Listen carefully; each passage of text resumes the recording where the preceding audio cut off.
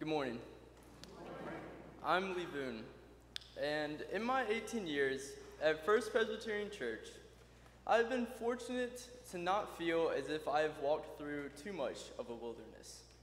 Maybe a few hikes through uncharted territory, such as in Spanish 3, or picking which college to attend. This is partly due to the congregation and the community of First Pres. Everyone here has helped raise me, just as they promised when I was baptized. Starting off were my days in youth club, which brought me closer to some people that I call my best friends, especially Witt, who I would say has helped me explore more parts of this church than I could ever imagine. because of youth programs, I have friends that I can always count on, along with leaders who I look up to. Matt, I always appreciated you putting time and effort into our youth and planning fun ski trips. Along with youth at church, Monday night Bible study has always been a highlight. In high school, conversing, laughing, and often getting off topic with friends, including Elizabeth and, of course, Jack Morton.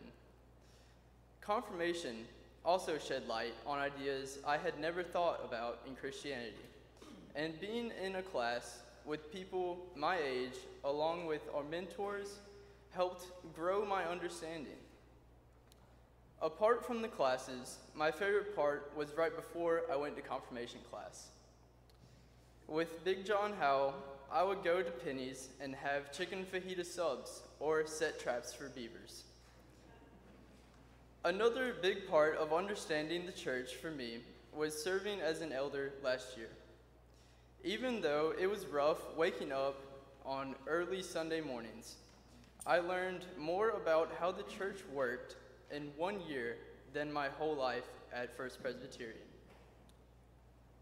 More than anything, my parents have pushed me to question and understand my faith. On Sundays, when I did not feel like getting out of bed, they still woke me up and made me go to church. My parents' faith has helped guide me along with learn and formulate my own opinions about my faith. When thinking about my faith journey so far, I came to the conclusion that there is not a single thing I would change about it. From walking in on Sunday mornings when I was little and Martha Sue would give me a quarter, to seeing Miss Andrews smile, asking me how tennis has been. Everyone in the congregation has always been supportive and caring. Thank you all for being the best church family I could ask for the past 18 years of my life.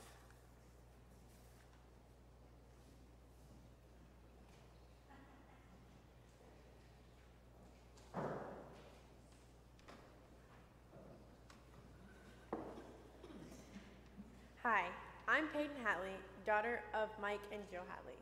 And while I haven't gone here all my life, I've been in church since as long as I can remember. Growing up, I've been to at least probably four different churches. My first church was Bethlehem Baptist in Aquadale, North Carolina, way down in the deep south. I went there from the time I was really little to about first grade, and then first grade we switched and went to Pleasant Grove Baptist, which I spent a lot of my time there from first grade to high school. So I learned a lot there and made a lot of good friends. And then when high school started, I came here and also attended New Mount Tabor United Methodist Church in Richfield slash Millingport. To me, the denominations don't matter. You're all learning the same thing, and while there are minute differences, you're pretty much all sharing the Word of God with each other as a family. At each church, I learned nice life skills and other things that I could carry on with me my entire life. Like at Bethlehem, I learned how important family and church friends are. At Pleasant Grove, I got to go to Caswell for at least three summers and made lifelong friends there and learned so many things about Christ. I still talk to those friends from Pleasant Grove and the adults, and here I've got to experience Bible study on Monday nights with Jack Morton and Elizabeth, which is probably the highlight of my week. I've got to come to uh, youth on Sunday nights with the Jim Hesley and Dorothy, which is probably the highlight of my week as well. Um, just get to laugh and have a good time, and a lot of things I never thought you could have at church. And when I come here, I really like it, and it's probably one of my favorite things. And it's definitely been a long faith journey, but I think I found where I fit in the most, and I really like this church for only coming for a year or so. So, about my journey into the wilderness. So, I might not be an expert on the actual wilderness, but I am an expert on fear and anxiety. I've dealt with anxiety for as long as I can remember. I was clinically diagnosed with extreme anxiety my freshman year of high school, which isn't really great because freshman year is probably was the hardest year of my life compared to senior year because I went to I go to Gray Stone, so trans uh, transitioning from South Stanly to Gray Stone was a big transition. So there was a lot going on there.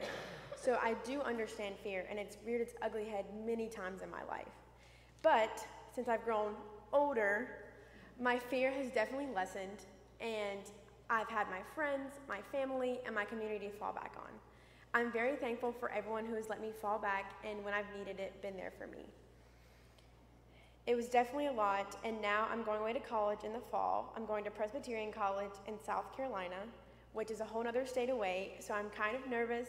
There's a lot of fear there because I don't know the area yet, but I'm very excited to start this journey and I'm also very thankful for my parents who have let me, who have helped me throughout my entire life with the fear and anxiety, and my sister and all my family, because my sister is my best friend, and she's definitely helped me through life and the struggles I've faced. Um, it's going to be really hard to leave her in the fall uh, because she is my best friend. So we're making the most of it right now, and I'm very thankful for everyone here, my family, my friends, all of it, and I'm super excited to start in the fall.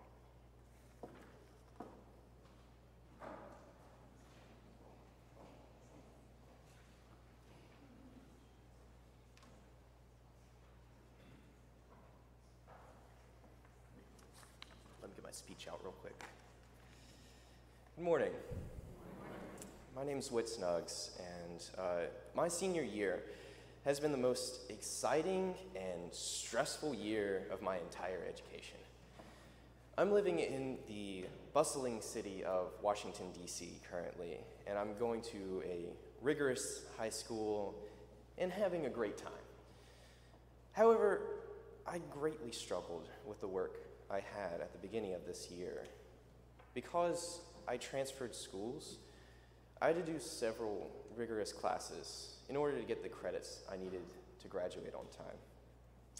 On top of that, I had a time consuming senior capstone project, and I also had to get into college. Furthermore, I also continued to be dedicated to several extra- extracurricular activities including track, cross country, swimming, Model UN, and I also did a school production of Saturday Night Fever, which you may or may not have seen on Facebook. I did not make this year easy for myself, and there were many times at 2 in the morning that I feared that I would not make it through this year.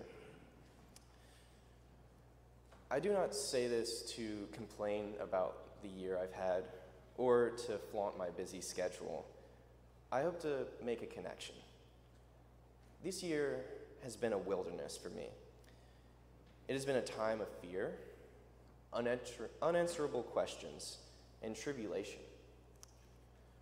But I will cherish this year in my memory for the rest of my life because it is an incredibly important milestone in my journey of faith, of my life. I believe that this year, this wilderness, was a time for me to be molded by God. Just like any difficult in life. But I do not believe that God puts us in wilderness, in the wilderness for no reason, or to simply test us. God doesn't waste time like that.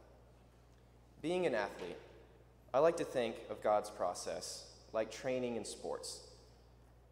Now, if you want to become a stronger, faster athlete, you're not going to get there by taking the easy route and keeping things painless. I believe that that is why God puts mountains in our life. Because for every mountain we climb, the better climbers we become. And the harder the climb, the more we appreciate the summit.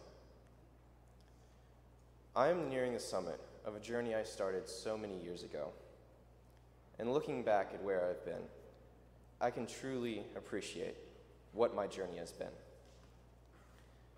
There have been so many people that have helped me to make it to where I am, and I'm thankful to all of them. I know I would not have been the same person if not for scouting, and I would never make it to my eagle without friends like Lee Boone, who I've known for almost 12 years through scouting, troop leaders like Stacy Hale, Ronnie Yarborough, Alan Love. These men were never fun in games. Well, no, not always. But they made sure that I knew what it meant to be a good, godly, godly man, and that I had what it took to be an Eagle Scout. But how can I talk about being a godly man without mentioning my church family here at First Presbyterian? My faith journey has gone hand in hand with my journey to my Eagle, and this, this church has been at the precipice of my development. When I think about my hometown, this church, this family, is one of the first things that comes to mind. This church has been a part of my life, my faith journey, since I was very young, and God's hand was present all the time I was here. So much of this congregation has given to help raise me and nurture me in the word of the Lord. I've spent much of my time participating in youth programs and events with this church that have given me many great memories. However, my experience is not only with the youth program. I've also done participated in men's prayer breakfast, and I particularly like to impose upon Matt's dinner Bible studies. These programs of this church not only gave me many great friends and experiences, but it has helped me to learn about God and build an ever deeper relationship with God.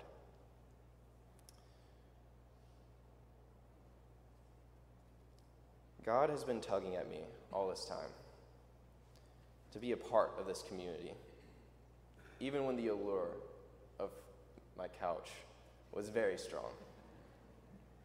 When I was blind to the importance of these seemingly little church events, God had sight, and I would go.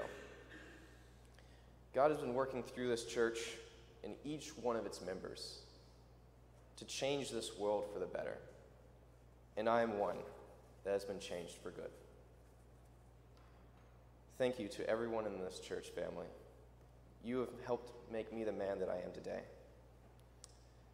And the thank you that must be saved for last is the one for the two people that have sacrificed the most for my betterment.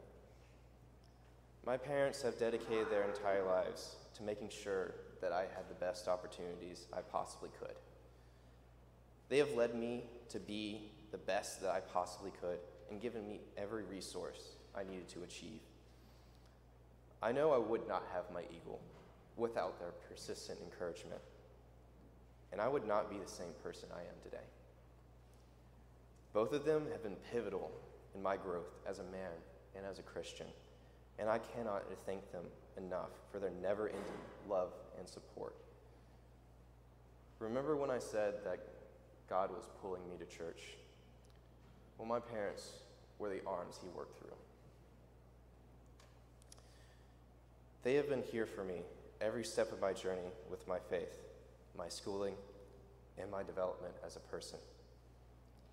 They deserve the credit for making me everything that I've become today. I owe it all to them. I was, as I look forward to the mountains I have ahead with college and my life. I have no fear. How can I when I'm so blessed?